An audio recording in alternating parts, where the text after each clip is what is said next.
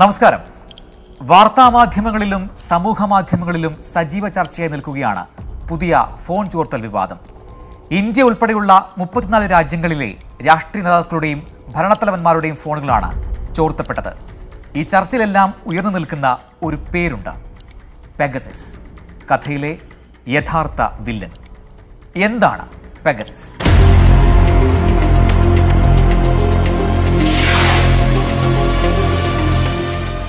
Cyber ആയുധം എന്ന നിലയിൽ ഇസ്രായേലി കമ്പനിയായ എൻ എസ് ഒ ഗ്രൂപ്പ് രണ്ടായിരത്തി പതിനാറിൽ വികസിപ്പിച്ചെടുത്ത സോഫ്റ്റ്വെയറാണ് പെഗസിസ്. ആൻഡ്രോയിഡ് ഫോണുകളിൽ അടക്കം ഇവ ഉൾപ്പെടുത്താം. എന്നാൽ ഇത് വ്യക്തികൾക്ക് ലഭ്യമല്ല. സർക്കാർ ഏജൻസികൾക്കാണ് സാധാരണ നൽകാറുള്ളത് എന്നാണ് ലഭിക്കുന്ന വിവരം. ഫോൺ ചോർത്തുന്നതിനുള്ള ഏറ്റവും എളുപ്പമായ ആയുധമാണ് പെഗസിസ് എന്നാണ് സൈബർ ഗവേഷകർ പറയുന്നത്. ഇനി മറ്റൊരു കാര്യം. വിവരങ്ങളെല്ലാം ചോർത്തി സ്വയം മരണം വരിക്കുന്ന സോഫ്റ്റ്വെയറാണ് പെഗസിസ് എന്നുള്ളതാണ്. ചോർത്തൽ എങ്ങനെ? ഒരു തെളിവും അവശേഷിപ്പിക്കാതെ ഒരു ലിങ്കിലൂടെയോ വോയിസ് കോളിലൂടെയോ മിസ്ഡ് കോളിലൂടെയോ ഫോണുകളിലേക്ക് കടത്തിവിടുകയും ഫോണ് ഹാക്ക് ചെയ്യുകയും ചെയ്യുകയാണ് പെഗസിന്റെ പതിവ് രീതി.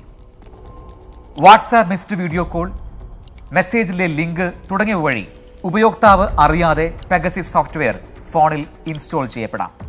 പാസ്വേഡുകൾ ഫോൺ നമ്പറുകൾ എസ് എം എസ് ലൈവ് കോളുകൾ എന്നിവ എല്ലാം ചോർത്തിയെടുക്കാം. ഫോൺ ക്യാമറ മൈക്രോഫോൺ എന്നിവ ഓൺ ചെയ്യാനും പെഗസസിന് ശേഷിയുണ്ട്. ഫോണിന്റെ ഉടമ അറിയുക പോലുമില്ലാതെ ക്യാമറയും മൈക്രോഫോണുമെല്ലാം ഓണാക്കാനും അതുവഴി വിവരങ്ങൾ ശേഖരിക്കാനുമെല്ലാം പെഗസസിന് സാധിക്കും. പെഗസസ് ഫോണിൽ ചാരപ്പണി നടത്തുമ്പോൾ അതിന്റെ ഒരു ലക്ഷണങ്ങളും പ്രകടമാവുകയുമില്ല. ഫോൺ സ്ലോ ആവുക പോലും ഇല്ല. ഒരു വർഷം പരമാവധി അഞ്ഞൂറ് ഫോണുകൾ വരെയാണ് പെഗസിസ് വഴി നിരീക്ഷിക്കാൻ സാധിക്കുക. ഒരേ സമയം പരമാവധി അൻപത് ഫോണുകൾ എന്തൊക്കെ ചോർത്തും. പെഗസിസ് ഡൗൺലോഡായി കഴിഞ്ഞാൽ വിദൂരതയിൽ എവിടെയെങ്കിലുമുള്ള ഹാക്കറുടെ കമാൻഡ് കമ്പ്യൂട്ടറുമായി അത് ഫോണിനെ ബന്ധിപ്പിക്കുകയായി. എന്തൊക്കെ വിവരങ്ങളാണ് ഫോണിൽ നിന്ന് ചോർത്തേണ്ടത് എന്നത് ഹാക്കർ നൽകുന്ന വിവരമനുസരിച്ച് പെഗസിസ് ചോർത്തി നൽകിക്കൊണ്ടേയിരിക്കും. പാസ്വേഡുകൾ കോൺടാക്ട് ലിസ്റ്റ് കലണ്ടർ ഇവന്റുകൾ ടെക്സ്റ്റ് മെസ്സേജുകൾ ലൈവ് വോയിസ് കോളുകൾ തുടങ്ങിയവയെല്ലാം ചോർത്തി നൽകാൻ പെഗസിന് കഴിയും.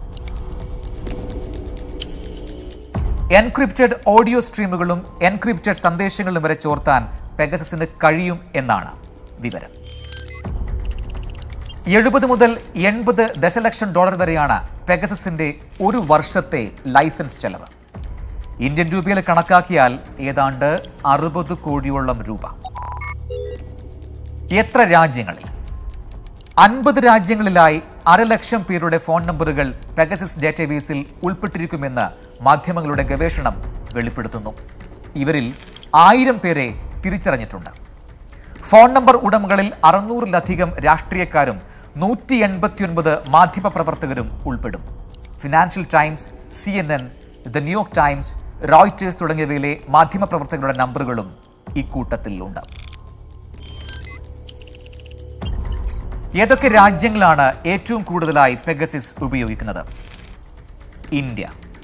Saudi Arabia U A Bahrain Azerbaijan Hungary Kazakhstan Mexico Morocco Rwanda എന്നീ പത്ത് രാജ്യങ്ങളിലാണ് ചോർത്തൽ ഏറ്റവും കൂടുതൽ നടന്നത് എന്നാണ് റിപ്പോർട്ട്. ചോർത്തൽ പുറത്തുവിട്ടത് ആര്?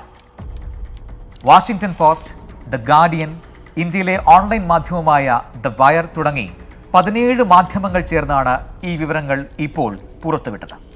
പാരീസ് ആസ്ഥാനമായ ഫോർബിഡൻ സ്റ്റോറീസ് എന്ന മാധ്യമ സന്നദ്ധ സംഘടനയ്ക്കും മനുഷ്യാവകാശ സംഘടനയായ ആംനസ്റ്റി ഇന്റർനാഷണലിലും ചോർന്നു കിട്ടിയ വിവരങ്ങൾ അവർ മാധ്യമ കൂട്ടായ്മയ്ക്ക് കൈമാറുകയായിരുന്നു. ഇന്ത്യയിൽ മുമ്പും വിവാദം.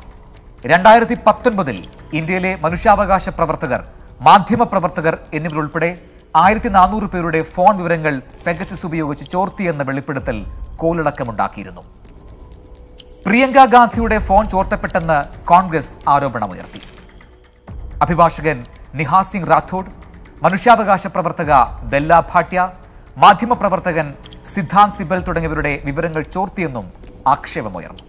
ഇനി ഇന്ത്യൻ ഏജൻസികൾ പെഗസിസ് ഉപയോഗിക്കുന്നുണ്ടോ? ഇന്ത്യൻ ഏജൻസികൾ പെഗസസ് ഉപയോഗിക്കുന്നുണ്ടോ എന്ന ചോദ്യത്തിന് കൃത്യമായ ഒരു ഉത്തരം കേന്ദ്ര സർക്കാർ ഇതുവരെ നൽകിയിട്ടില്ല. രണ്ടായിരത്തി പത്തൊൻപത് നവംബറിലായിരുന്നു എം ആയ ദയാനിധി മാരൻ ഈ ചോദ്യം ലോക്സഭയിൽ ഉന്നയിച്ചത്. സർക്കാരിന് ഇത്തരത്തിൽ നിരീക്ഷണം നടത്താനുള്ള അധികാരമുണ്ട് എന്നായിരുന്നു അന്നത്തെ വിശദീകരണം.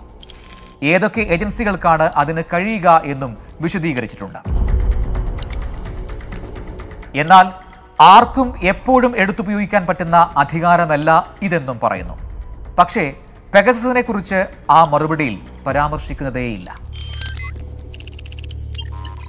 കേന്ദ്ര സർക്കാർ പ്രതിരോധത്തിൽ.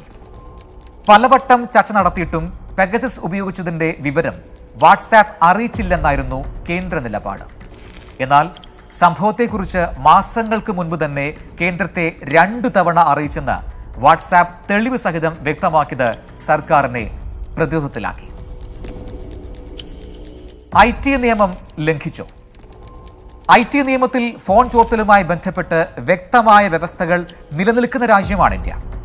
എന്നാൽ ഇവ ലംഘിച്ചുകൊണ്ടാണ് പെഗസിസ് ഉപയോഗിച്ച് മന്ത്രിമാർ ഉൾപ്പെടെയുള്ളവരെ നിരീക്ഷിക്കുന്ന സംഭവം ഉണ്ടായിരിക്കുന്നത്.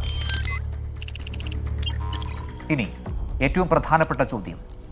ആർക്കു വേണ്ടി? ആരൊക്കെയാണ് ഇത് വാങ്ങിയിട്ടുള്ളതെന്ന് കമ്പനി ഇതുവരെ വ്യക്തമാക്കിയിട്ടില്ല. എന്നാൽ കുറ്റകൃത്യങ്ങൾക്കെതിരെ പോരാടുന്ന സർക്കാർ രഹസ്യാന്വേഷണ നിയമപരിപാലന ഏജൻസികൾ മാത്രമാണ് ഇത് ഉപയോഗിക്കുന്നത് എന്ന് അവരുടെ വെബ്സൈറ്റിൽ കൃത്യമായി തന്നെ പറയുന്നുണ്ട്. പട്ടികയിൽ ഇനിയും പേരുകൾ ഉൾപ്പെട്ടേക്കാം.